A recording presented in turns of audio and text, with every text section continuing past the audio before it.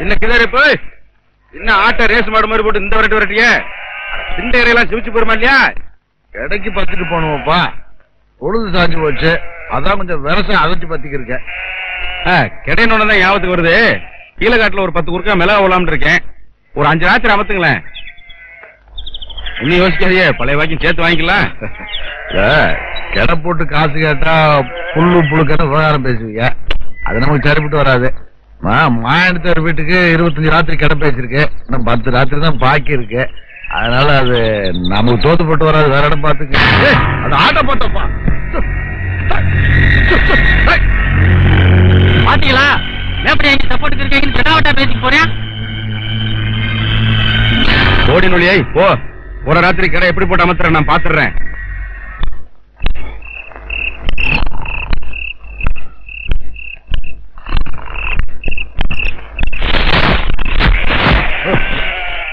வராது. என்னப்பா காரிச்சாமி ஒம்பாடு தட்டி திறந்து விட்டு உள்ள வந்துருக்க ஒண்ணும் இல்ல கிதாரி. வயசான காலத்துல ஆடு ஊட்டியெல்லாம் ஒழுங்கா மேய்ச்சலோ இல்லையோ? மாயாண்டு விட்டு கடலை காடு ஃபுல்லா பூச்சி விழுதுன்னு கிட்ட என்ன பண்ணிட்டான் பால்டா மருந்து அடிச்சு வச்சிருக்கான். அதான் அதுல ஆட்டை பத்தி மேய விட்டு போலான்னு வந்தேன். என்ன வயசா பேசிக்கிறீங்க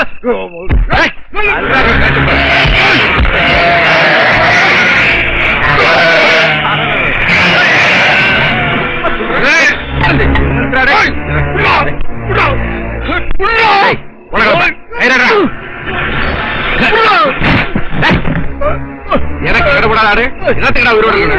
அம்புட்டு செத்து துளையட்டுடா டேய் கட்டா இருக்கு கட்டா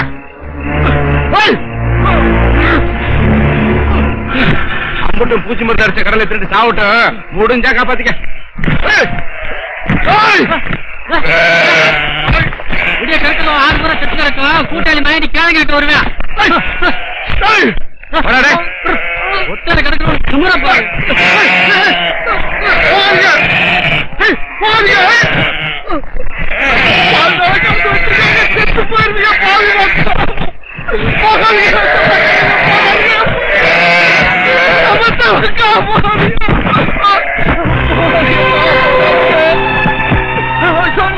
என்னப்பா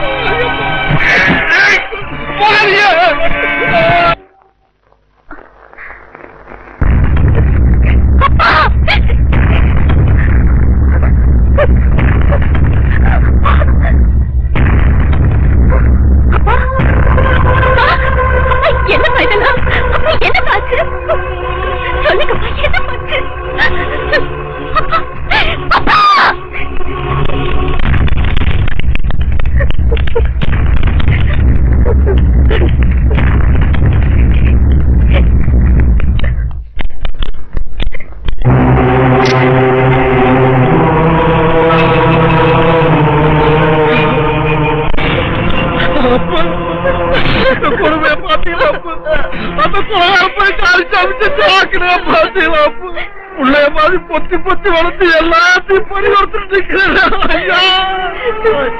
எனக்கு ஏதாச்சும் ஒண்ணுதா மாறுதட்டு கப்படுக்கிறதுக்கு மாமற்ற இல்லாத போய் தன் நிலைமையில காடி போச்சு உங்களை போல மகராஜ் நாலு ஆடு குட்டியை வச்சு பொழைச்சுக்கிறதோம் அந்த பொழப்புல மட்டும் ஐயா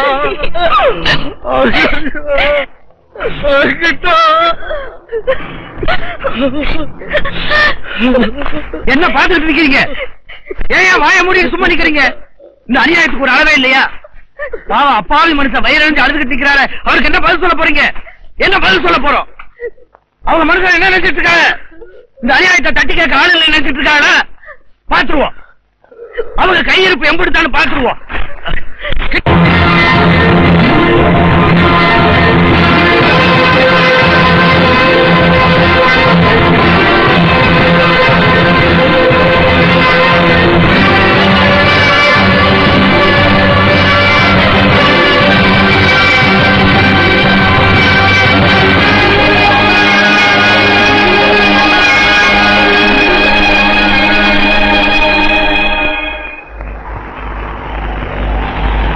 காரிச்சாமி உன் மேல பஞ்சாயத்து இருக்கு.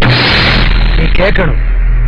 இந்த காரிச்சாமி கை கட்டி நின்னு பஞ்சாயத்து கேட்கணும்னா அவன்கிட்ட கம்பு வெட்டி ஜெயிக்கிற ஆம்பளை இடத்த ஐயா ஏய். கருச்சாமி யார்கிட்ட என்ன பேசிட்டு இருக்க?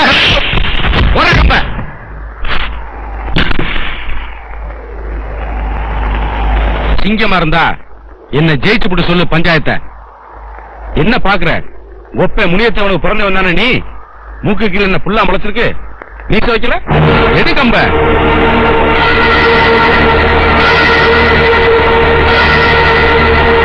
ஐயா ஐயா. உங்களை வண்டிக்குள்ள உட்கார வச்சு முன்னாடி இருந்து வண்டி ஓட்டிட்டு போறவன்னா எதிர்த்த மாதிரி எந்த ஆபத்து வந்தாலும் எனக்கு பின்னாலதான் ஐயா உங்களுக்கு. முதல்ல காரிச்சாமி என்ன ஜெயிக்கணும் ஐயா என்ன ஆசீர்வாதம் பண்ணுங்க.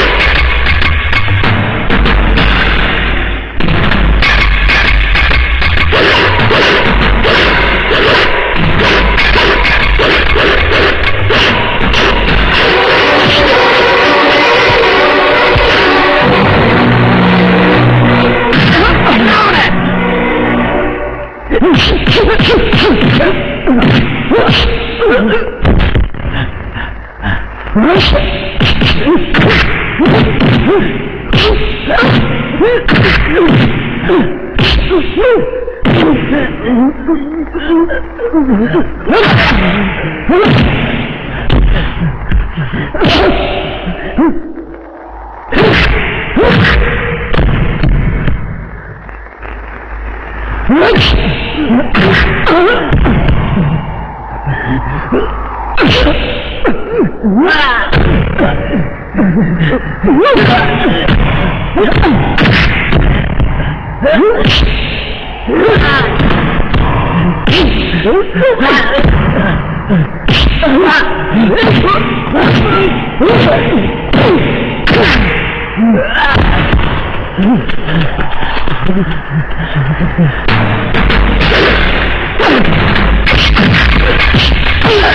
Yeah.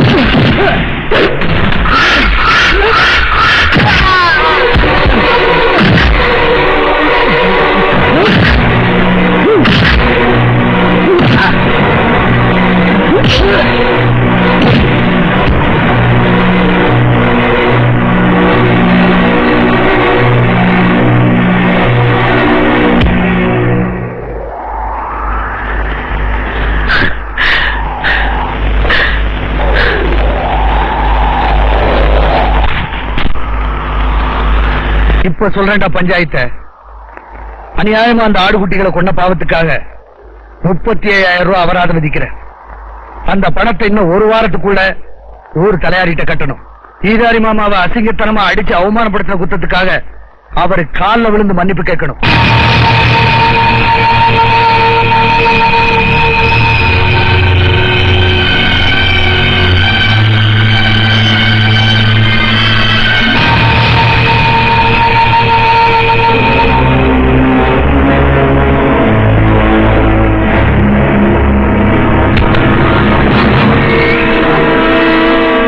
இனிமே என் கண்ணு கட்டின எல்லா வரைக்கும் இந்த மாதிரி அநியாயம் நடக்கக்கூடாது. இதுதான் கடைசியா இருக்கணும். பஞ்சாயத்து முடிஞ்சு போச்சு. எல்லாம் அவங்கவுங்க போய் வேலையை பாருங்க.